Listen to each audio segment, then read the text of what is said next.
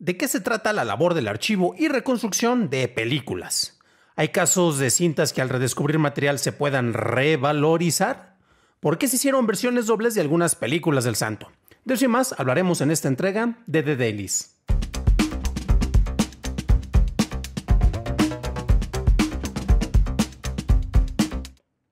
Tal? Bienvenidos a este episodio. Sé que he estado un poco distante, pero que ustedes recuerden que casi siempre tienen todas las semanas contenido. De hecho, ahorita estamos con los podcasts de Yellowstone, los cuales confío que tendrán más que calidad suficiente para que sea de su agrado. Pero bueno, vamos a hablar acerca de algunas cuestiones más relacionadas con el cine, no tanto con series. Y recientemente se hizo una presentación eh, bastante interesante en la Cineteca, como parte de uno de los festivales de horror y de espantos más reconocidos acá en nuestro país, en México.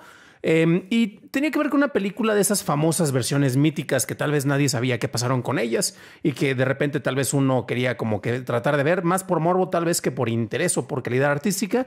Y pues finalmente se dio, tuve la oportunidad de verlas y estamos hablando de la versión reconstruida, que no es esta que tengo aquí, sí, esta es la versión original, bueno, versión original eh, reeditada en Estados Unidos y un bonito DVD que compré hace más de 10 años, de Santo contra los jinetes del terror. Entonces, sobre esta película, Ah, hay que tener un poco de contexto. Y recordemos que, por ejemplo, nuestra amiga Viviana García Besné, eh, que hizo un documental por allá, híjole, ya hace más de 10 años, hace como 13 años creo, eh, o más, 15 años, eh, hizo un documental que se llamaba Perdida, en el cual ella nos ah, mostraba y hablaba de un material inédito que encontró al hacer una revisión sobre la historia de su familia y ver cómo estaba ligada con las películas del santo, con la producción de, varias de estas cintas.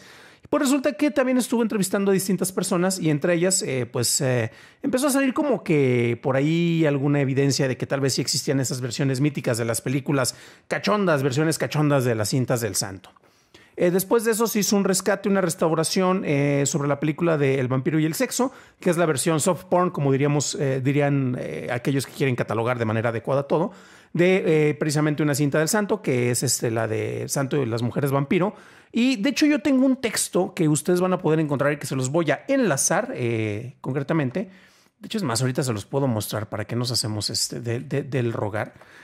precisamente para que vean acerca de eh, esta película y como por ejemplo materiales originales que estamos viendo en blanco y negro, que esa es para la versión que se lanzó para todo el público, pues resulta que la película se grabó dos veces, por decirlo de alguna manera, o mejor dicho, se hicieron dos versiones y hay una versión a todo color. Aquí menciono algunos de los detalles, como que por ejemplo el suéter con el cual se ve ahí, el santo, hay unas escenas donde lo trae en color azul y otras en color café. ¿Y qué pasó? Este error de continuidad. No, pues como sabían que la versión definitiva para México nos iba a lanzar en blanco y negro, pues no importaba porque era exactamente el mismo diseño pero cambiaba el color, ¿no? Eso lo van a poder encontrar y ahí Dios santo ya les estoy mostrando material de esta última nueva versión en la cual el santo después de viajar en, tiempo y pelear con vampiro, pues ve que el vampiro se la pasaba a todo dar. Eh, la liga la van a encontrar en la descripción en la página de churros y palomitas, ¿eh? Y también recordemos que, eh, sí, otro Shameless Blog, ahí tenemos una charla que tuvimos en su momento con Viviana García, en el cual pues ella nos habla precisamente de eh, esta película, de la de Perdida, así como de pues la experiencia que tuvo al estar encontrando este material. Y por resulta que también ahí, de hecho, empezamos a platicar y habla, se menciona que había cuatro versiones tentativamente, tres películas del santo y por ahí, y otra por ahí que estaba perdida. Yo hasta mencionaba que a lo mejor estaba hasta el robot humano, este, o eh, la momia azteca también, eh, con el sexo, todos ellos, pero bueno. Y la cuestión es que se hizo el rescate y la recuperación que vamos a hablar ahorita más a detalle de la película de los leprosos y el sexo. Qué nombre tan cachondo, híjole, mano, como que no sé, ahí el marketing estaba medio, medio fallido, ¿no? Y pues a final de cuentas se logró exhibir, eso es lo que estuvimos mencionando. Y este hallazgo es, un tanto interesante, pero vamos a, hablar precisamente del impacto que puede o no tener esto, ¿no? Y esta película, eh, honestamente, pues eh, es una labor de amor, es una labor de dedicación y de cariño.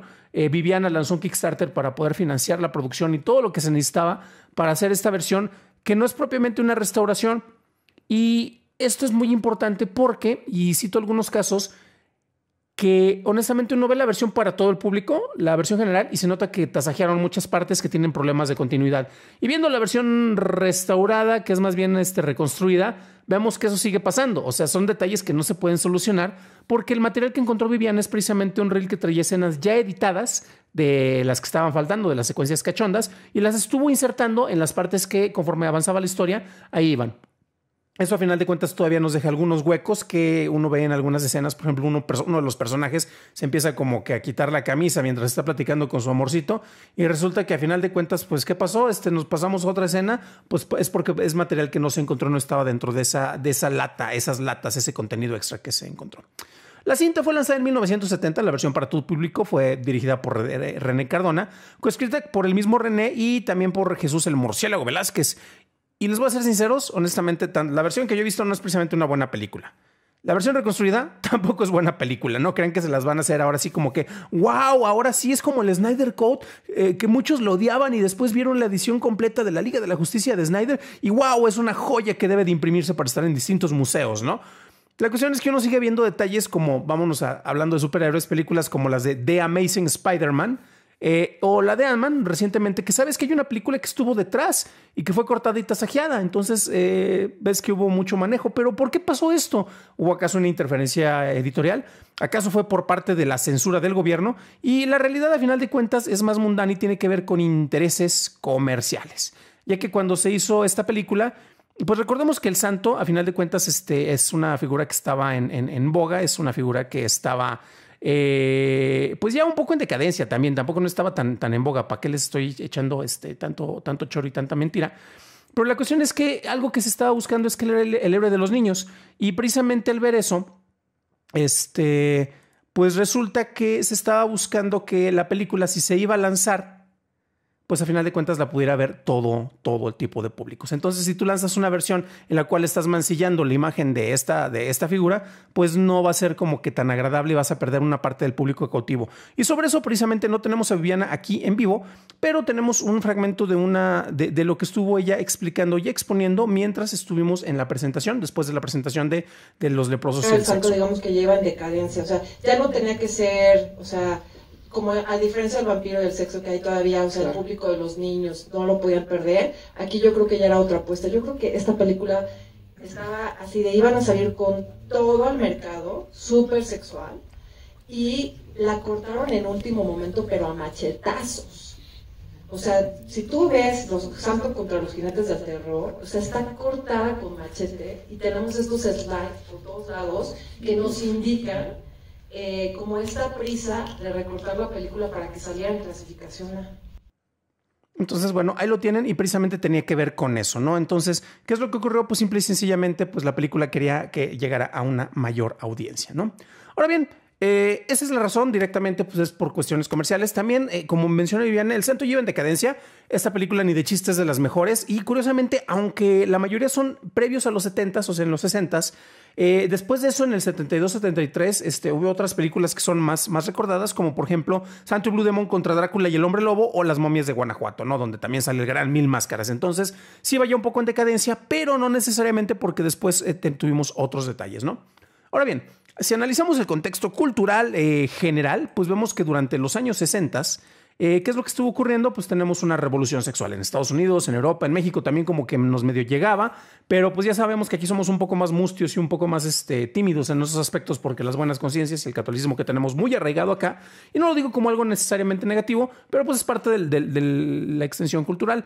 Y por ejemplo, este, en el cine europeo, en Italia y en Francia y en Alemania en particular, ya había secuencias eh, más eróticas dentro de sus películas. Y al parecer, este, uno de los cuestionamientos que se estuvieron haciendo es que tal vez acá precisamente René Cardona, bueno, parte del equipo, empezó a ver eso y por eso estuvieron pensando en comercializar esas películas, las versiones este, cachondas, para ese mercado en particular, un mercado más sofisticado. Cuando uno ve el tipo de secuencias que se estaban haciendo, no eran precisamente sofisticadas, tampoco vamos a darles eh, una capacidad y una categorización para elevarlas para algo que honestamente no, no, no tenía, ¿no? Pero al final de cuentas, pues era algún mercado que podría estar por allá. Y en México, esta cinta se podría hacer un, eh, que es el tatarabuelo, tatarabuelo, este tatarabuela, porque cinta, eh, precisamente de las sexy comedias. Y hay una especie de relación que podría estar ahí. Claro que tenemos películas como De entrada Bellas de Noche o Tivoli, que marcan el inicio de esta nueva época, ¿no? En la cual muchos la aborrecen porque es cine popular, pensado para las masas, en el cual supuestamente los manejos de guion eran peores. Eh, pero vemos que, por ejemplo, estas dos cintas que mencionaba, se trata de retratar un poco más la vida nocturna y cabaretera y hay mucho melodrama en, esas películas. Entonces no es como que pasamos de volada al rollo de las ficheras y los chistes, eh, películas eh, clase B básicamente con algunos personajes que echaban algunos cuatro albures, unos chistes y salía una muchacha cachonda por ahí para, para aplicar, ¿no? Y bueno, a final de cuentas, eso que ocurre después es a mediados de los 70 en adelante es donde tiene mayor, mayor auge y es donde abundaban las chichis y es a lo que me refiero, a los chistes y a las, bueno, las chistes y a las chichis. Entonces aplicaba como eso, como un gancho o valor de producción que precisamente atrayera eh, principalmente al público masculino, pero pues bueno, para, para atraer mayores audiencias, ¿no? Se mencionaba que precisamente las películas del santo, eh, estas versiones alternativas, podrían ser una especie de antecesor para antes de que explotara este tipo de género en nuestro país. Ahora bien, como les mencionaba, las secuencias que se ven de, la película del, vampiro y el sexo es, es, es bastante interesante porque a final de cuentas esa película no raya tanto en, Era como una de las primeras pruebas y sí vemos que no es el santo quien está directamente envuelto en este tipo de secuencias, sino que, y aquí está lo más interesante, son los villanos. ¿Por qué? Porque nunca se va a mancillar la imagen del gran héroe, por, razones que ya habíamos mencionado, ¿no? Ahora bien, eh, se mencionaba que, ah, caray, pues sí es cierto que estuvieron saliendo este tipo de, de películas en otros mercados, por ejemplo, como allá en, en, el mercado europeo, o sea, fuera de las cuestiones anecdóticas. Y escarbando un poquito de información, pues nos encontramos con pequeños detalles como esta imagen que les voy a compartir eh, tan pronto eh, cuadre mi... no, Viviana, espérame tantito. Ya no tenía que ser... Este, perdón, las ventajas de estar un rato sin, sin haber grabado esto, ya saben que uno como que de repente se puede hacer pelotas. Necesito a alguien que me ayude con la producción. Y este, concretamente, tan pronto encuentren dónde está la pantalla, Aquí debería de entrar alguien en producción para echarme la mano. Si tan solo tuviéramos para pagarle a alguien en producción. Ah, por cierto, aprovechen para entrarle ustedes en el churros y palomitas. En patreon.com el churros y palomitas para apoyarme. Pero bueno, haciendo un poquito de exploración, ahora sí. Eh, tenemos, por ejemplo, este póster que está bastante interesante. Y, por ejemplo, es de David Wilt, que eh, nos habla de cómo el santo tuvo una máscara roja en los pósters, por ejemplo, y lo llamaban el zorro, la belva del Colorado. Y este es un póster precisamente de Santo contra los jinetes del terror. En la versión de Estados Unidos está la versión sexy que se llamaba Los leprosos y el sexo. Y aquí tenemos precisamente que sí tenía esto y este es un póster rescatado de los años 70. Oh Dios santo. Y ahí vemos, por ejemplo, este, una chica este, pues en el piso, paños menores o sin paños, por ejemplo, y a uno de los malditos jinetes que están por allá y el Sando preparándose para atacarle. Entonces, aquí tenemos algunos de estos detalles, este, que pues al parecer, miren, sí, tuvimos la exhibición por allá eh, de manera interesante. Y desde luego un pequeño detalle comercial, los amigos de Tubi la tienen para que la puedan ver en todo su esplendor, este, tienen parte del catálogo, es gratuito y con publicidad, eh, pero aquí pueden encontrar eh, distintas películas de Hecho del Santo y ahí van a poder disfrutar, no la versión con censura, este, digo, no la versión sin censura, pero pues aquí van a poder ver cómo el Santo participaba en un western y se van a poder estar divirtiendo. Lo interesante del caso es que la película está en inglés, entonces este, ver el doblaje, o mejor dicho, escuchar el doblaje, es un tanto interesante y divertido, pero bueno, eso ahí se los dejamos a ustedes como tarea. Eh, pues bueno, ya vimos que efectivamente hubo algo de, evidencia en este caso sobre lo que se estaba mostrando. Y también aquí tendríamos un, pequeño detalle que vale, la pena mencionar. Eh, las secuencias que se estaban incluyendo en esta película nueva, la versión restaurada, bueno, reconstruida, que no es restaurada y que no la hace buena de entrada, tristemente tiene un valor más anecdótico, este, un valor más, eh, pues, de cariño para quienes nos gustan las películas del santo. Este, las secuencias que se están mostrando no aportan mucho a la trama en realidad. Y hay algunas en las cuales con el puro título, eh, tanto de las dos versiones, o sea, los jinetes del terror va, porque si son personas que se veían medio desfiguradas, va. Pero imagínate que va a haber secuencias cachondas tal vez con un leproso, porque eso es lo que está indicando el, título de la película, ¿no? Entonces, afortunadamente no ocurre eso en ninguna de las versiones, este, pero al final de cuentas como que ahí el manejo de los títulos como que nos daba eh, algo que pensar, este, trataba de despertar el morbo en dos distintos factores, ¿no? Uno precisamente, ahora sí que eh, eh, el Eros y el Thanatos para ver qué es lo que podría estar ocurriendo de ese lado. Ahora bien, sobre esto y sobre el manejo de la edición tenemos nuevamente otro fragmento que, permítanme tantito en lo que estoy preparando, precisamente la secuencia para poderles mostrar de algo de lo que nos estuvo platicando Vips precisamente en la misma presentación. Y lo vamos a ver, este, qué onda sobre los detalles de edición Vips. Este, ¿Nos puedes platicar al respecto? Las dos primeras escenas eh, era muy evidente dónde iban porque traían una pequeña cola. De hecho, si tú ves como la escena de la violación, ahí hay una parte que hasta cambia el material, que se ve de otra calidad. O sea, era muy evidente. Y la otra, porque pues este, si tú ves la versión normal, está, está la chica con ropa, ¿no? Entonces era muy evidente. La que no era tan evidente era la escena entre Armando Silvestre, ¿cómo se llama? Darío. No.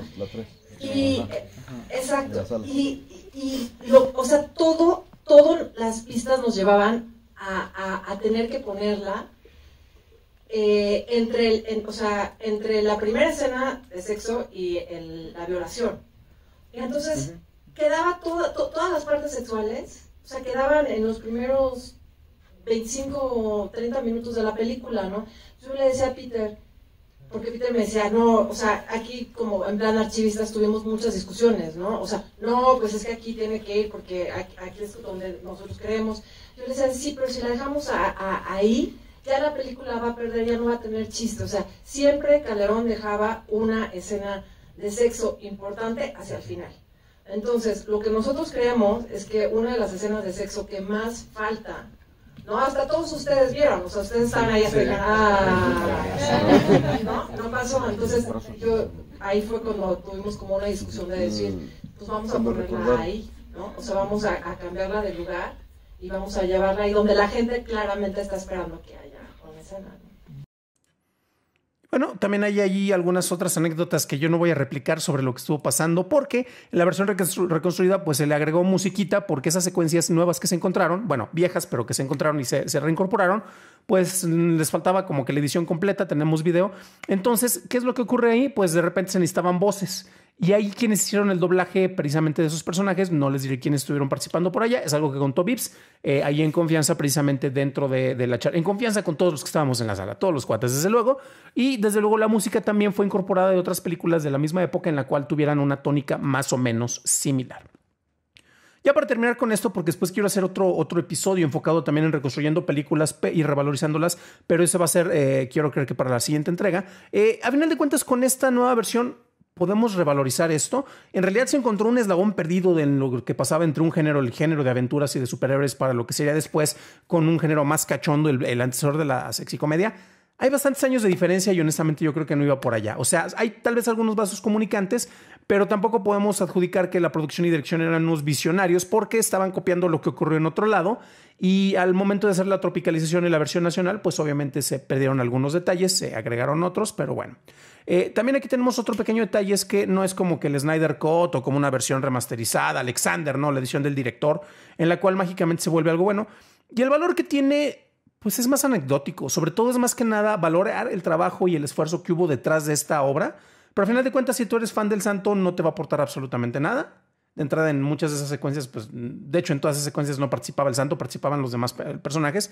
Y la versión que se tiene, pues a final de cuentas sigue teniendo bastantes problemas de edición, no por el nuevo equipo que le estuvo rearmando, pero sí por el material fuente. Entonces trata de, es como me acuerdo con algunos de mis jefes que me mandaban este, videos de, no sé, grabados en WhatsApp y querían que hiciera una presentación para que se viera en salas de cine y yo así de, pues mándame los materiales bien grabados, ¿cómo les puedo ayudar? De la misma manera, aunque se tenga material con buena calidad, eh, se, cuenta material que está editado, no se, tiene, no se cuenta, por ejemplo, con los roches originales como para rearmar y reestructurar y sobre todo tal vez con un guion original o un tratamiento, o por lo menos una escaleta para saber en qué orden iban, ya que como Vips nos mencionaba, se tuvieron que ir acoplando precisamente las secuencias conforme diera más sentido dentro de la película, aunque necesariamente no iban en el orden que eh, venía planteado en las ediciones por lo que se veía, ¿no?